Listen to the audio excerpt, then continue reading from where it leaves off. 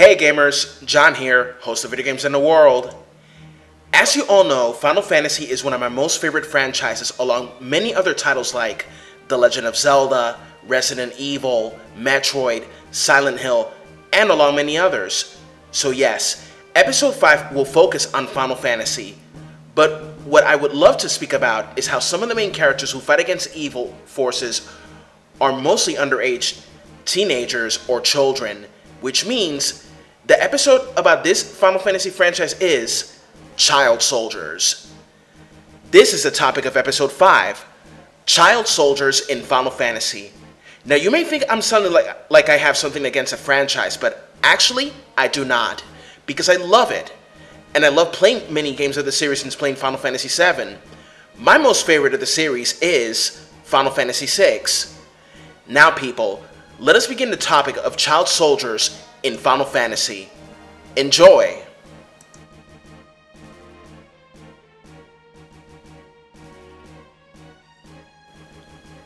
While many main characters are in legal age, such as 18 years old or in their early 20s, there are main protagonists and also some party members that are under 18 years of age. And there are so many examples in the main series and other games on how these kids are chosen to go to war against the forces of evil by the crystals or by fate, as it might be said in other games. First things first, we all know that in the real world there are child soldiers in various countries being part of an army that seeks to better the country and defend it by any means necessary. And that is messed up in real life, drafting small children and sending them to war, not giving them nurturing, teaching them compassion, as well as to go to school and education, and last but not least, teach them to question everything as well as believe whatever they want to believe it. The theme with child soldiers in RPG games like Final Fantasy is a big theme not only in other games but anime as well. It has a lot to do with culture though. Most heroes in anime or games tend to be between ages 14 and 18 to 18 years old. However, some of the underage characters in the game want to accompany the main character and his or her party to not be alone and also to try to toughen up in order to not feel weak or helpless in a dire situation. An example being Hope Estheim of Final Fantasy XIII, who was mentored by Claire Farron, also known as Lightning. But there are characters who accompany the main character to test his worthiness, a loved one's power passed on after death, accompanying the party along with a family member, not to mention a team of kids who go to school training to become part of the school's elite mercenary squadron.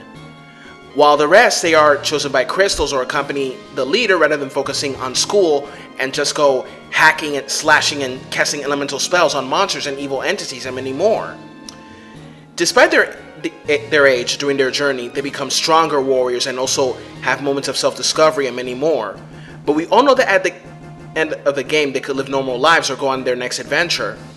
Not to forget that bonds of friendship are formed with other party members, and there could be a slight romance as well during this journey. There are various good examples of child soldiers in Final Fantasy.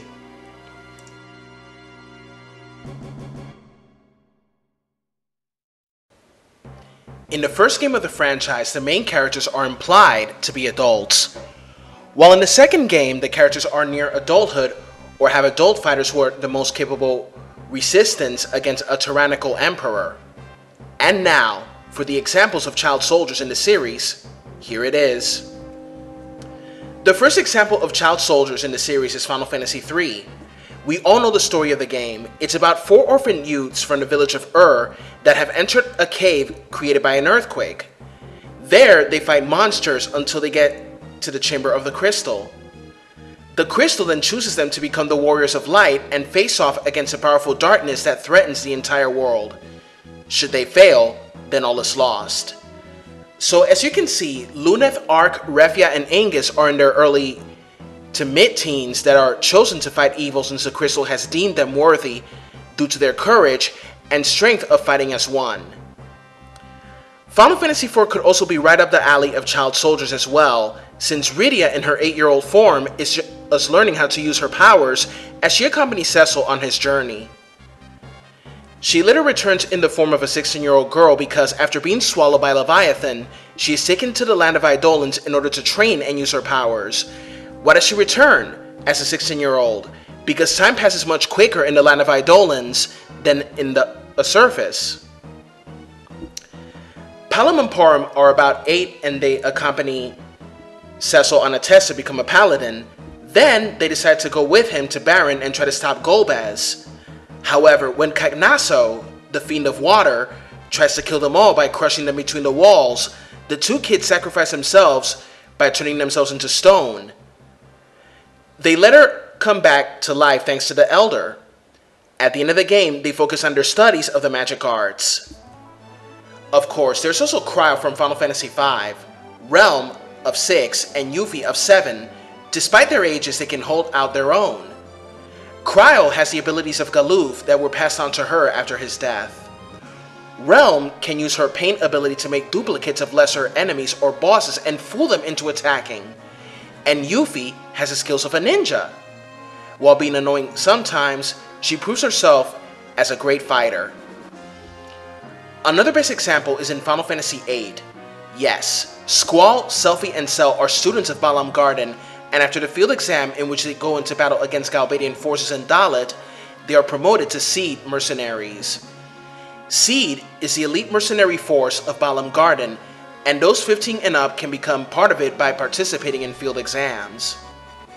Seems pretty messed up in a certain way since they go to school and become elite mercenaries and go into battle putting their lives on the line, and when they become seed mercenaries, they partake on missions around the world, chopping monsters and enemy soldiers.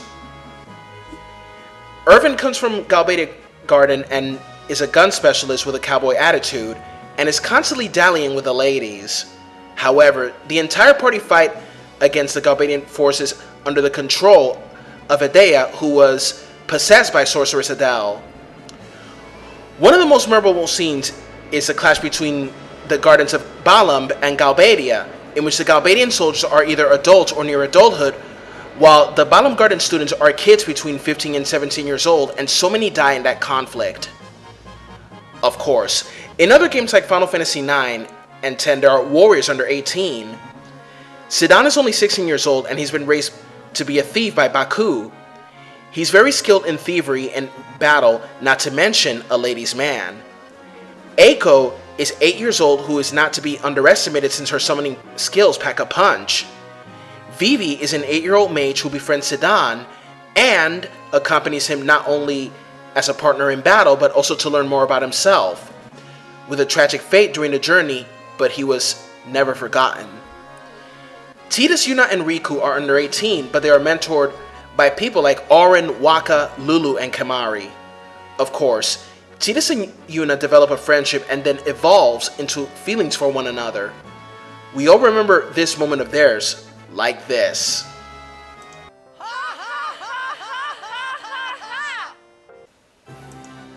Another example is in Final Fantasy XII. In this game, Vaan and Penelo are constantly tagging along, and they get themselves involved in adult affairs such as joining with two sky pirates, a disgraced knight, and a princess thought to be dead, thus becoming a party with a group of adults on a journey to fight against the oppressive Archadian Empire and help the princes restore the kingdom of Dalmasca. Next example is Hope Estheim of Final Fantasy XIII. He's around 13 or 12 years old, and he is being mentored by Lightning. Yes, at the beginning he blames his mother's death on Snow, but later realizes that killing him won't bring her back. Finally, another great example is Final Fantasy Type 0. This game is a real example of child soldiers in the series. Yes, Final Fantasy has dealt with wars against tyrannical and oppressive empires, dictatorships, corporations, and against dark forces that seek world conquest, its destruction, or return everything to the void. Taking place in the world of Orience, where an elite squad of academia known as Class Zero partake on many missions around Orience to protect the dominion of Rubrum against the oppressive forces of the Militesi Empire. Class Zero is comprised of a group of students in their mid-teens, and each class in academia are training to become soldiers who protect the Dominion. When someone respected in academia dies, the crystal wipes their memories of that person who died and that is very messed up that the crystal wipes those memories, not giving them time to mourn, nor remember the good and the bad of their fallen CO or a fallen companion.